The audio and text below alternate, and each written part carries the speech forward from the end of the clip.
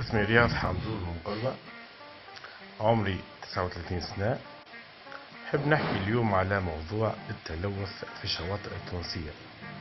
حبيت نقول اللي المسؤولية مش ديما مرمية على عاتق البلدية متاع المكان ولكن أنا من رأيي إنه المواطن يتحمل أكبر مسؤولية لأنه